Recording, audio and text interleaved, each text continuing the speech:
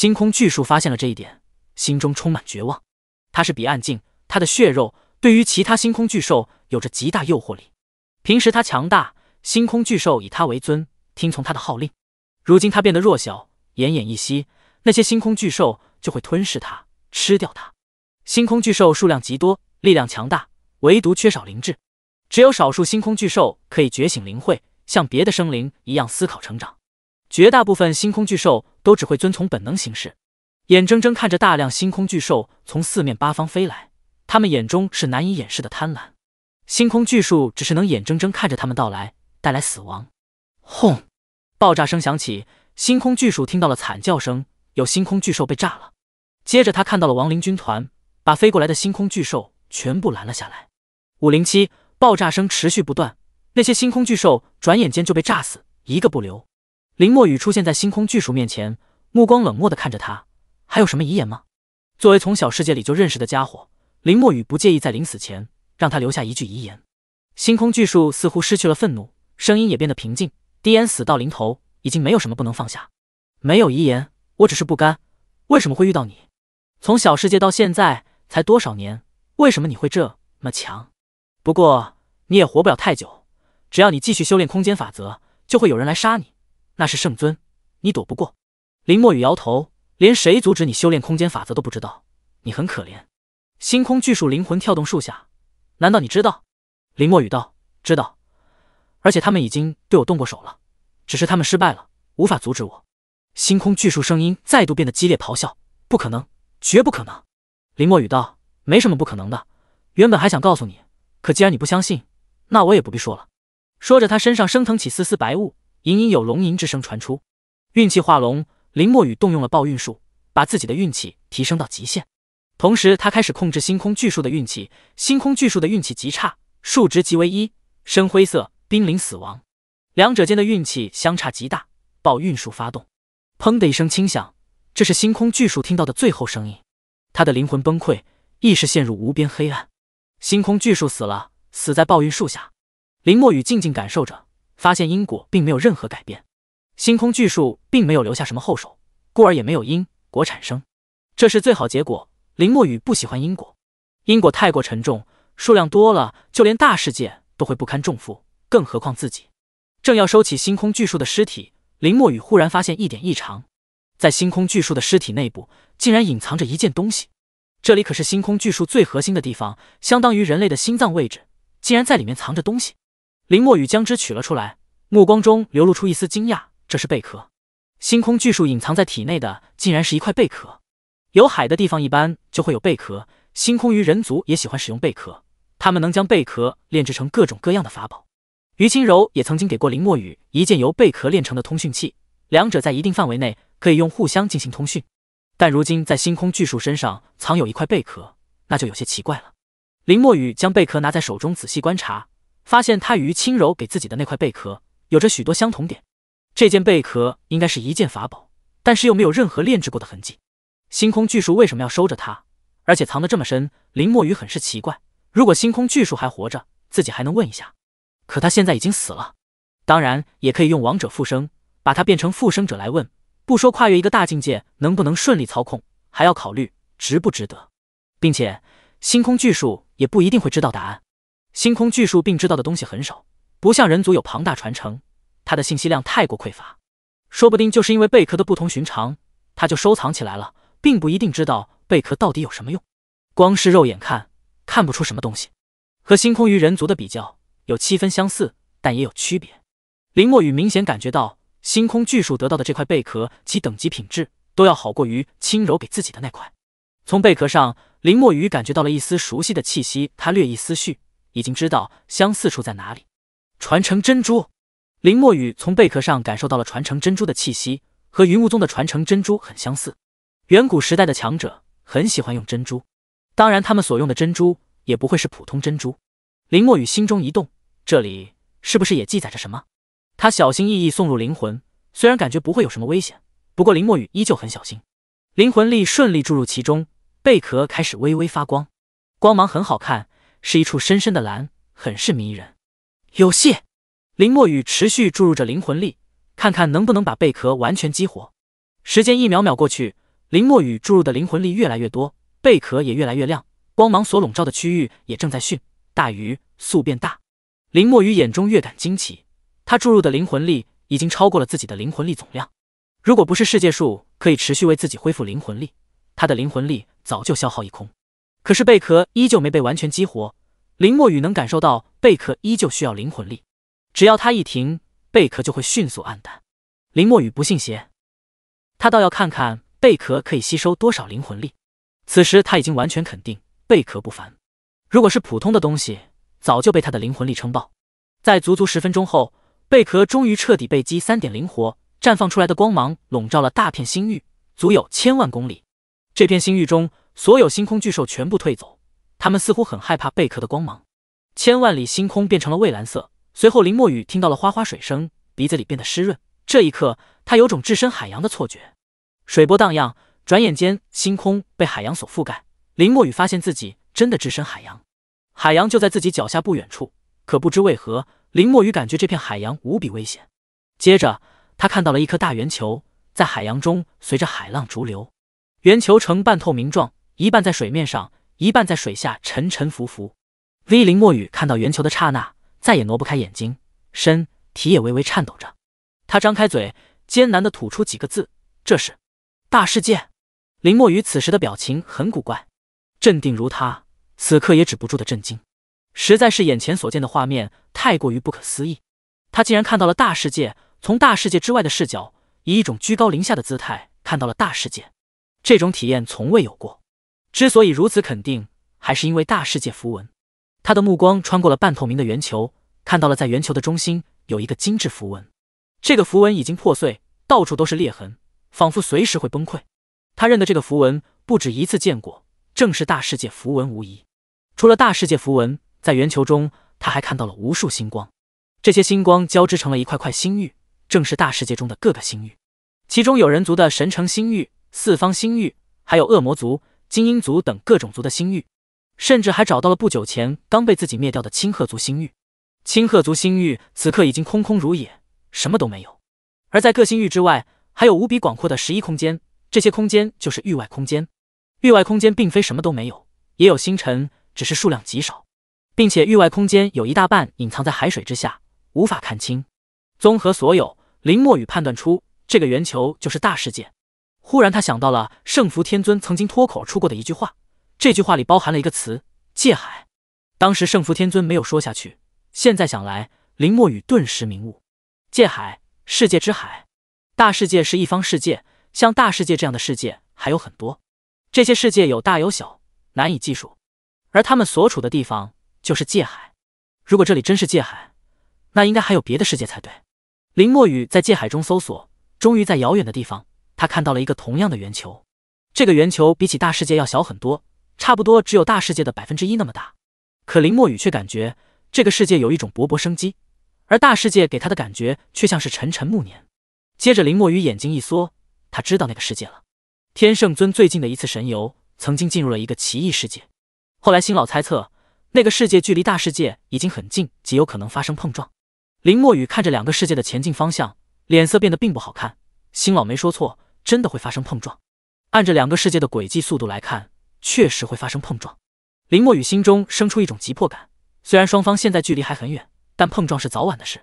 那个生机勃勃的世界，虽然规模远不如大世界，极有可能拥有至尊境强者。若是只有一个，或许还能应付；如果数量多点，大世界就完了。不知道还有多少时间，林墨雨无法判断时间。他感觉界海里的世界和大世界里的时间并不相同，无法进行判断。大世界在这里，黑血大界在哪里？忽然想到了黑血大界，林墨雨继续寻找着黑血大界的踪影，可惜并没有发现。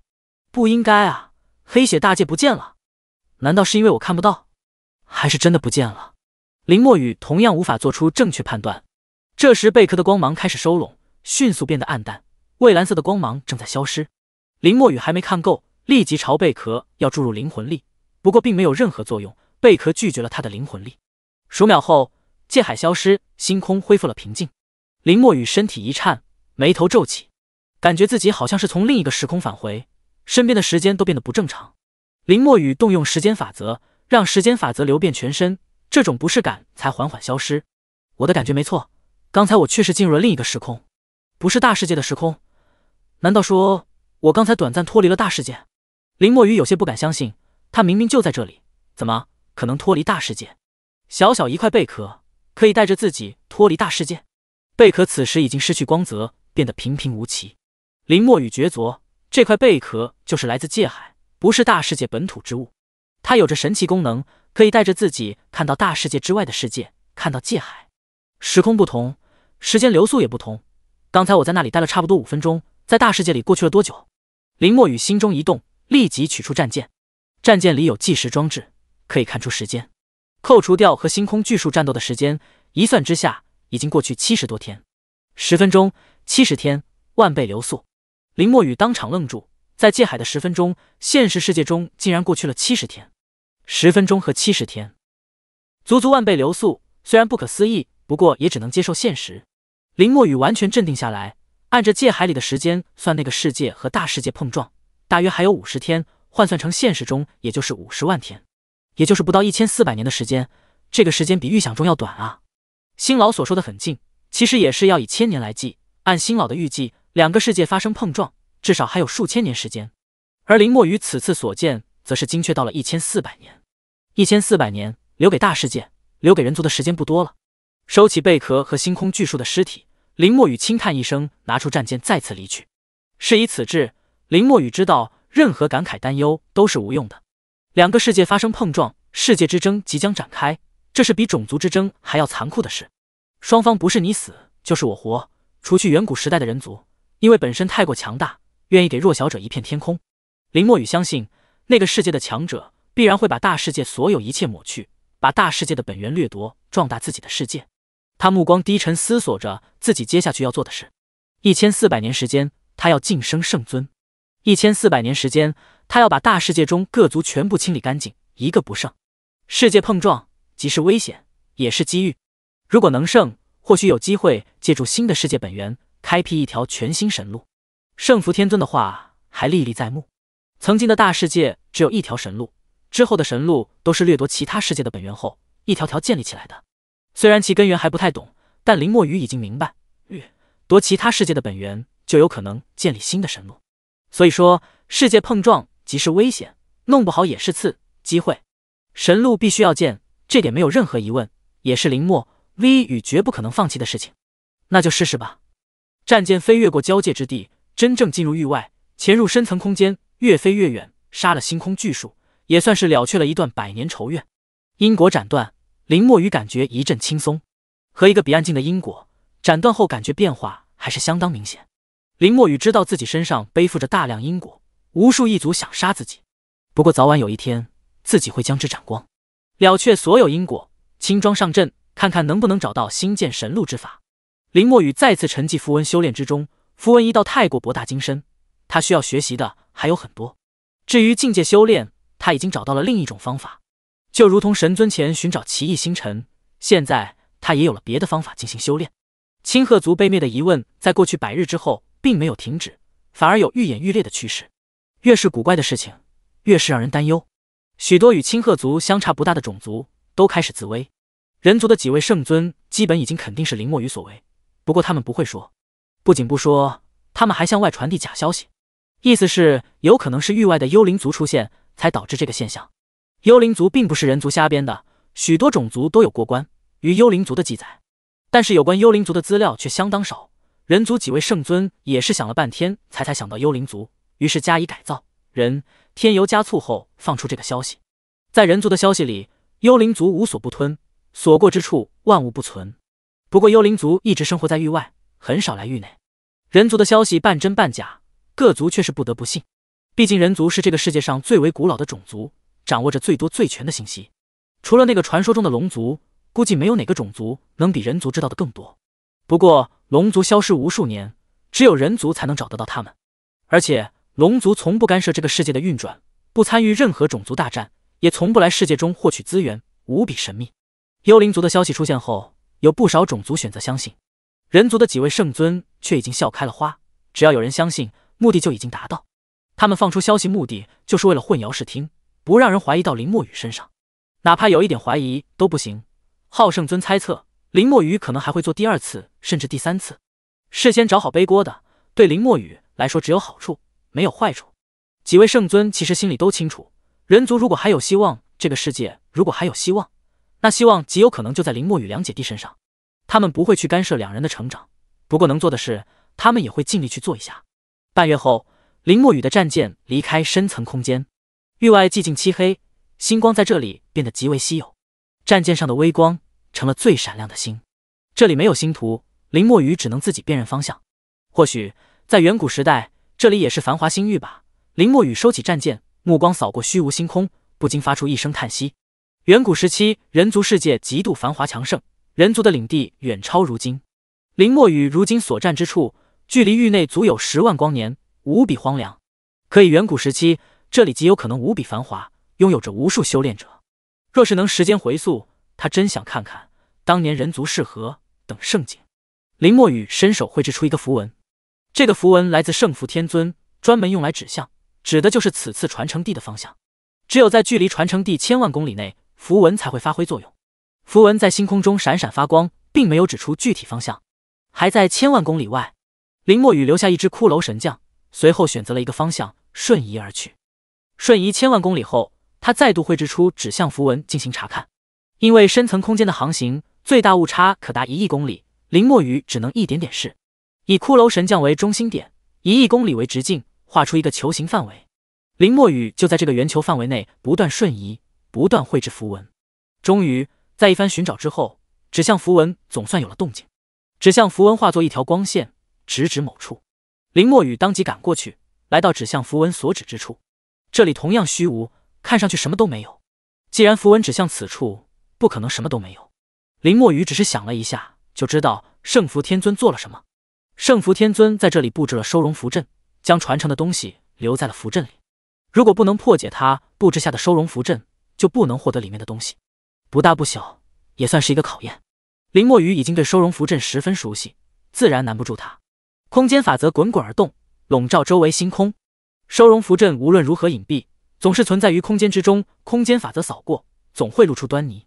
果然，林墨雨感应到了收容符阵的存在，找对了位置，接下来就好办了。林墨雨当场就绘制出一枚符文，符文准确无误，撞在收容符阵上，原本隐藏起来的收容符阵顿时显露出来。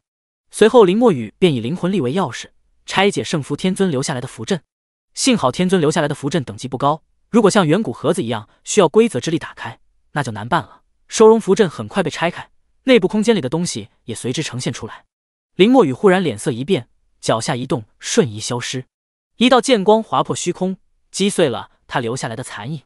林墨雨出现在十万公里外的地方，脸色有些难看。刚才如果不是他反应足够快，已经被击中。剑光不断飞舞，拉出一条条灿烂拖影。剑光之下是一个盒子，盒子就是林墨雨见过的远古盒子。盒子上布满符文，十分复杂的古符，让人看一眼就会感觉头疼。剑光飞舞，光影绰绰，光影中有符文显露，剑身之上也同样闪烁着复杂符文。这是剑，得得的符文法宝。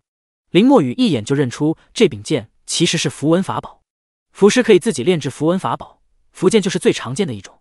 不过，不同符师炼出来的符文法宝威力参差不齐，差别巨大。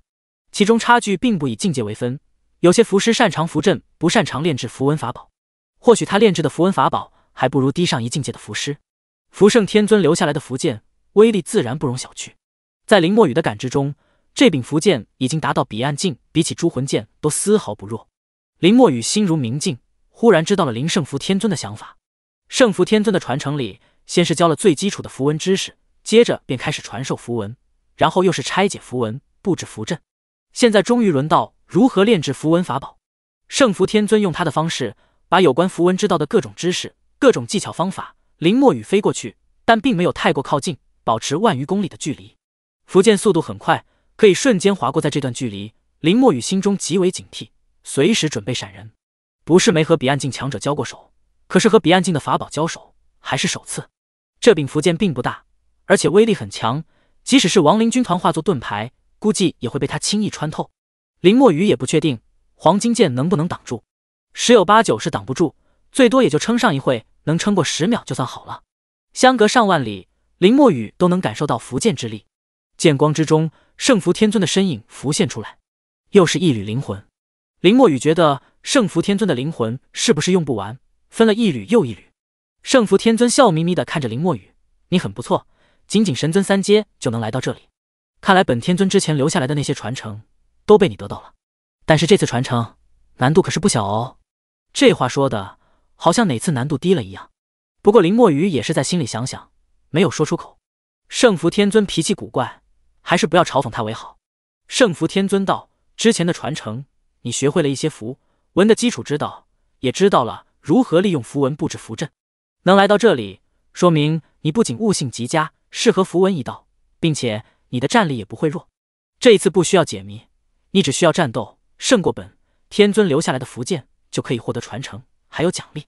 不过事先提醒，你如果被符剑杀了，那只能自认倒霉。”前一秒还好好说话，像一个慈祥老者在为自己挑选传人，后一秒却说出如此冷酷的话，毫无感情可言。圣福天尊的脾气确实古怪之极。说完话，说圣福天尊手指轻点，一个符文自动飞出。林墨雨心中生出不好的感觉的，但为时已晚。星空之中出现无数符文，密密麻麻，组成了一座符阵。这座符阵范围极大，是林墨雨见过规模最大的符阵。圣福天尊说道。本天尊已经封锁了方圆十亿里，你在胜过福剑前无法离开。林墨雨心里在骂人，他知道圣福天尊说的没错，方圆十亿里星空确实已经被封锁，并非是阵风空间那种，他的空间法则依旧可以自如使用。圣福天尊把十亿里空间围了起来，如同一座牢笼，不允许林墨雨逃出去。除此之外，并没有别的限制。随着圣福天尊话音落下，福剑嗖的飞来，速度。快到惊人，几乎在瞬间就来到林墨雨面前。林墨雨本能一步踏出，直接瞬移出四百万公里。他的身形刚显露出来，脸色猛地一变，福建又已近在咫尺。这么快！林墨雨震惊，福建的速度远超他的预料。他不假思索继续瞬移，但是每一次瞬移结束，福建近在眼前。不可能，肯定是有哪里不对，不可能这么快。林墨雨知道自己和每次瞬移的方位都不一相，福建哪怕速度再快。追寻自己的位置总也需要时间，而自己瞬移一结束，符剑就会出现在面前，这就很不正常。圣符天尊的声音响起：“本天尊的符文法宝有追踪破空之能，即使你身具空间法则，也逃不走。”特么的！林墨雨在心中骂了一句：“圣符天尊真的是一点漏洞都不给。符剑拥有追踪破空两种能力，而且圣符天尊的手法相当高明。林墨雨并没有发现自己被锁定，应该不是锁定，而是进行了标记。”符剑不会给我机会清除标记，不是灵魂锁定亡灵之意不会有用。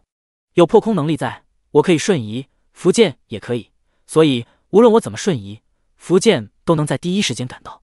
林墨雨想明白后，再一次瞬移后不再闪避，黄金剑出一在手中，猛地挥出和符剑撞到一起，砰的一声，林墨雨被一股巨大力量撞退数千里，根本停不下来。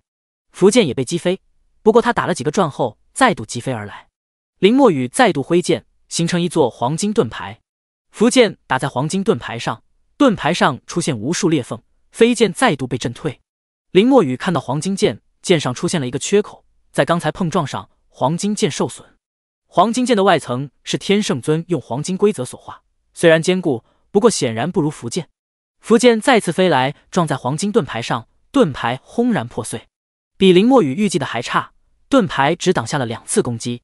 不过也给林墨雨争取了一些时间，大量骷髅神将出现在星空之中，组成骷髅肉盾。林墨雨知道一味闪避不是办法，必须要进行反击。骷髅神将纷纷朝着符剑挥出剑气，洁白剑气照亮星光，符剑从洁白剑气中冲出，去势不改刺向林墨雨。骷髅神将的剑气对他毫无作用。骷髅神将挡在符剑必经之路上，金甲符闪闪发光，连片交织，密密麻麻形成成百上千层防御。每层金甲符都可以挡住巅峰神尊的一击，不过面对彼岸镜，林墨雨知道远远不够。之前已经有过先例，金甲符面对彼岸镜的攻击时，真就如同纸糊的一样脆弱。林墨雨有时也感叹，自己面对的敌人总是太过强大，以至于金甲符作用大幅度减弱。其实只要不是面对彼岸镜，金甲符的强大会让任何一个神尊绝望。符剑瞬间刺穿了千百层金甲符，速度丝毫不减。无数骷髅神将被符剑穿透，当场崩裂。符剑的威力极大，比起星空巨树还要可怕。林墨雨心中一动，死亡龙骑士军团出现。军团统治者朝着福建发动致命一击，战刀准确无比的砸在福建上，福建根本没有任何感觉，撞破军团统治者的战刀，同样刺穿他的身体。防御强大的军团统治者也被福建穿透，当场崩碎。林墨雨召唤出了骷髅王，骷髅王座带着熊熊烈焰出现，骷髅王座十分巨大，正好挡在林墨雨面前。福剑刺在骷髅王座上，砰的一声被震飞。林墨雨心中了然，果然如此。他知道骷髅王手中的古剑无比坚固，而古剑又是骷髅王座所化，可以想象骷髅王座同样坚固。今天试了一下，果然如此，连福剑都伤不到他。福剑连黄金剑都能撞出缺口，却拿骷髅王座无可奈何。显然，骷髅王座的坚固程度还要超过黄金剑。林墨雨嘴角微扬，露出一丝微笑。他知道自己已经立于不败之地。如果连骷髅王座都不行，林墨雨已经打算动用天灾权杖。现在看来，不一定非要用。一旁圣福天尊微微皱眉，眯起眼睛盯着骷髅王座，看着有点眼熟啊。圣福天尊，我得骷髅王座很眼熟，连带着那些骷髅大军都有几分眼熟。不过他想不起来，这缕灵魂没有那份记忆。林墨雨不知道圣福天尊的想法。五尊骷髅王挥动着古剑，精确无比斩在符剑上。每一次撞击，骷髅王都会被庞大力量撞退，符剑同样会被震退至一段距离。不过符剑恢复速度快，没等骷髅王恢复过来，符剑已经返回。增好骷髅王有足足五尊，五尊骷髅王交替上场，将符剑完全挡住。林墨雨从逃亡者变成了看戏人。林墨雨目光闪烁。先立于不败之地，再想办法解决掉符剑。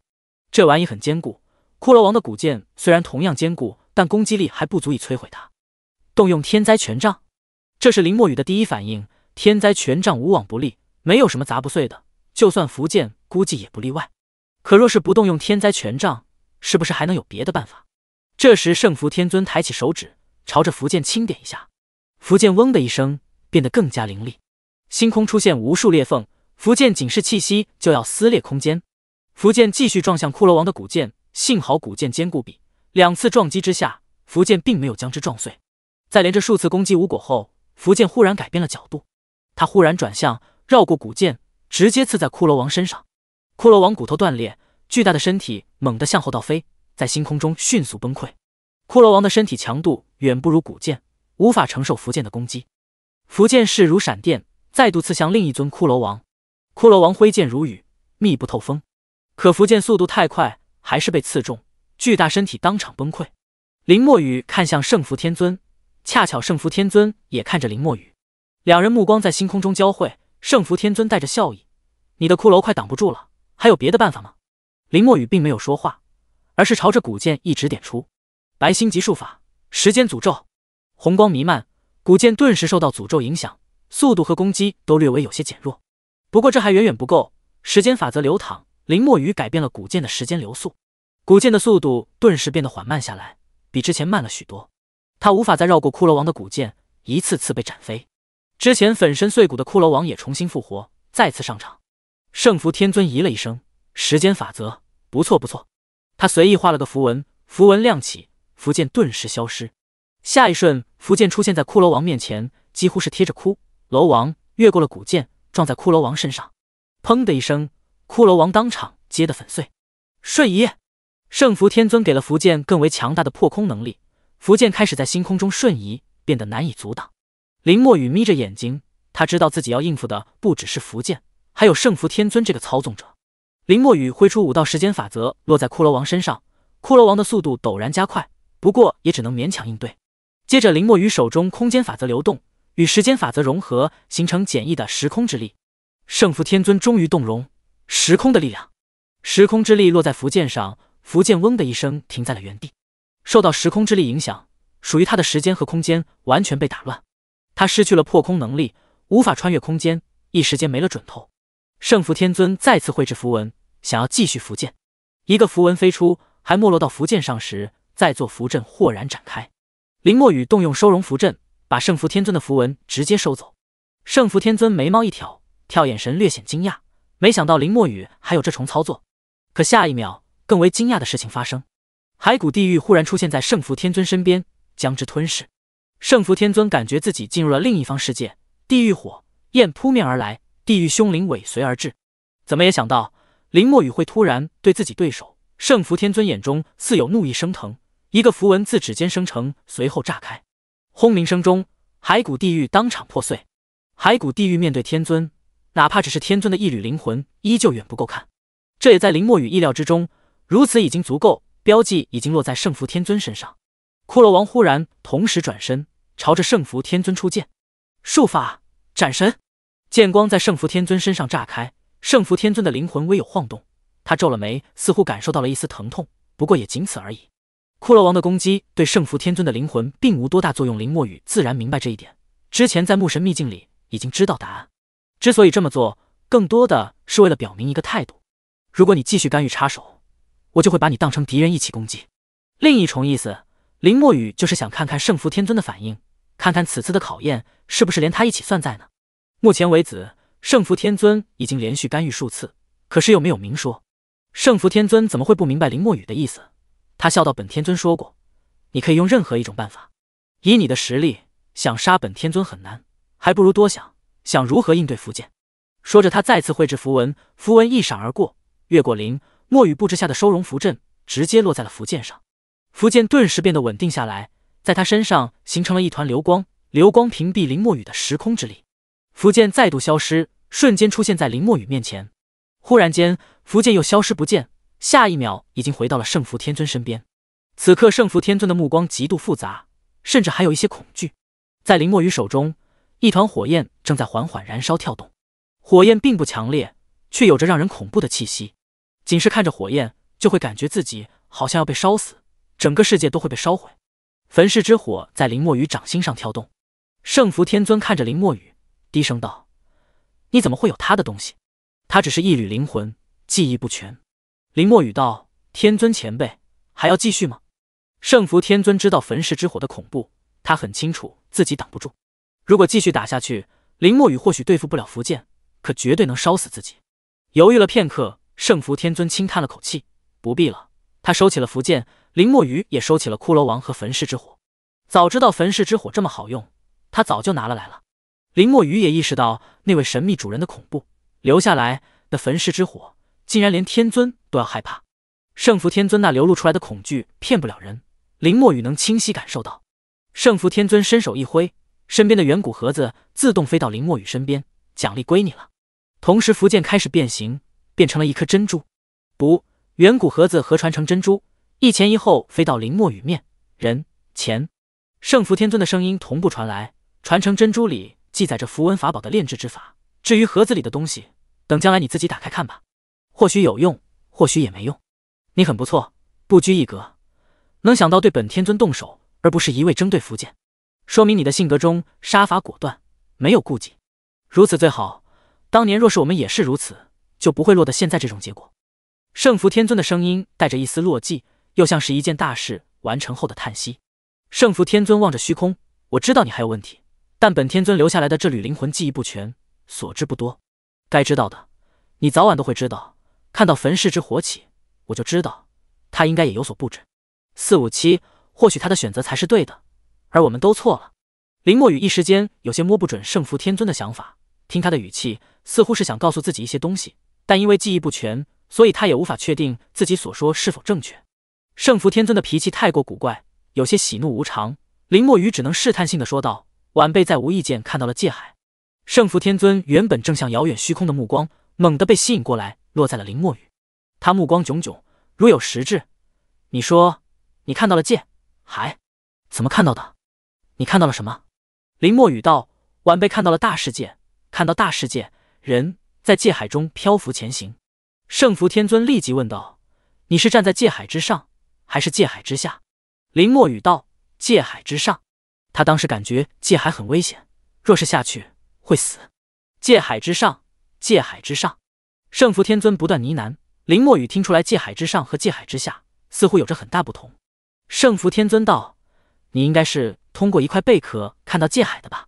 林墨雨直接承认，同时将贝壳拿了出来。贝壳此刻已经变作平平无奇，和普通贝壳没有什么两样，似乎已经陷入沉睡，也不知道什么时候能恢复。圣符天尊看着贝壳，似乎有些怀念。真的是他，没想到还能见到他。林墨雨问道：“前辈，这块贝壳有什么用吗？”圣符天尊看向林墨雨，用处非常大，不过对现在的你来说，它只能让你看到世界之外的画面而已。等你强大起来，成为至尊，它就会有别的作用。具体什么用，到时候你自然就会知道。你运气是真的好，连界海贝都能得到。看来幻物那个胆小鬼没选错人。原来这个东西叫界海贝，确实让他看到了界海。林墨雨觉得眼前这位圣福天尊还好说话，当即人追问道：“请问前辈，界海到底是什么地方？”圣福天尊呵呵笑了笑，没有回答林墨雨。有一条规则你永远记住：想知道的多，就要走到更高处；境界不够，知道的越多，死的越快。林墨雨自然知道这个道理，但他还是追问了一句：“晚辈在界海里看到了一方世界即将和大世界发生碰撞。”圣福天尊问道：“多事之年啊，大世界的终日即将到来了吗？那方世界还有多久会与大世界相遇？”一三零零至一四零零年左右。圣福天尊点点头：“天无绝人之路，大世界还有机会，不过需要你们这个时代自行把握。本天尊没办法帮上你，不过可以给你指两条路。第一条，若是哪天你到了圣尊，可以去寻找幽灵族，或许他们能帮上你；第二条，去找本天尊留下来的东西，或许会有帮助。”声音落下，圣福天尊身形淡化，已是离去。林墨雨猜测，他应该去了大世界符文处。当年的天尊对这方世界有所愧疚。这些天尊灵魂最终的归宿都是大世界符文，他们想要以残魂之躯为大世界符文做些什么？可到底做了什么弥补？林墨雨并不清楚，他还远远没到能接触大世界符文的境界，差得太远。他记下了圣福天尊的话，喃喃说道：“幽灵族，这个传说中的种族，难道真实存在吗？他们能帮上自己？难道幽灵族不是异族，是某位天尊创造的种族？”林墨雨本能的以为。幽灵族有可能和星空鱼人族、星空天灵族一样，是某位天尊创造出来的种族。不过要到圣尊之后才能去找，现在也不必着急。圣福天尊走了，林墨雨也坐进了战舰，重新进入深层空间。在战舰中，林墨雨拿出传承珍珠，开始吸收里面的传承。这份传承是圣福天尊留下来的最后一份，也是符文之道最后一块拼图。从符文的基础知识，再到符文的拆分、融合、符阵、微调。直至现在，符文法宝炼制法，不知不觉间，圣符天尊已经把符文之道的所有知识都传给了林墨雨。最终，林墨雨能达到什么程度，就完全看林墨雨自己的造化。数日后，正在深层空间消化传承的林墨雨被一阵轻微的震动惊醒。震动来自世界最深处，在震动发生的同时，他感觉到自己和圣符天尊的一丝因果消失了。圣符天尊果然去了大世界符文那里，也不知道做了什么。过去的已经过去。即便他还活着，也与大世界再无联系。圣福天尊留下传承，留下灵魂，但是没留下自己。林墨雨即使获得传承，也和他再无一丝因果系。这份因果还是圣福天尊自己主动斩断，其中必然有深层次的原因。不止圣福天尊如此，在林墨雨看来，别的天尊也是如此。就像是幻物天尊把小物留在了这里，自己斩断了与小物的所有因果，也斩断了自己和大师四点七界的一切联系。那些天尊都做得很绝，林墨雨能理解他们，但又不喜欢他们这种做法。但是换个角度，似乎又无可厚非。毕竟人族中也有句话：“人不为己，天诛地灭。”林墨雨没有怪天尊的意思，只是单纯不喜。他闭上眼，不再多想，继续学习着符文。有了符文法宝的炼制之法，并且成功炼制出符文法宝后，符师的战力将大幅度提升。符师们不擅长战斗的观点，将在这一刻开始发生改变。符师只要拥有强大的符文法宝，其战力绝对不会比同境修炼者弱，甚至更强。林墨雨心中有触动，也涌起了炼制符文法宝的冲动。战舰在深层空间中越飞越远，远离了人族，远离了战争。